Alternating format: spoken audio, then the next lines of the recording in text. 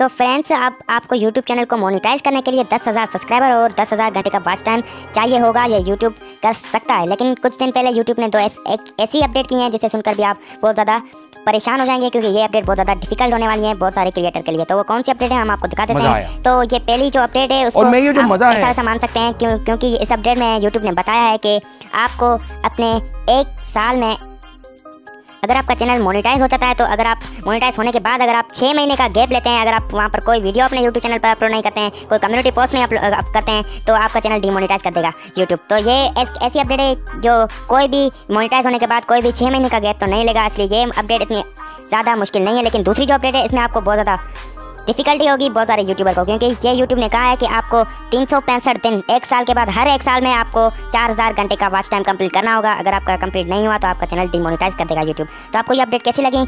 आप कमेंट में बता दीजिए। अगर आपको ये अपडेट अच्छी लगी तो भी कमेंट में बता दीजिए। मिलते हैं ऐसी और नेक्स्ट वीडियो में।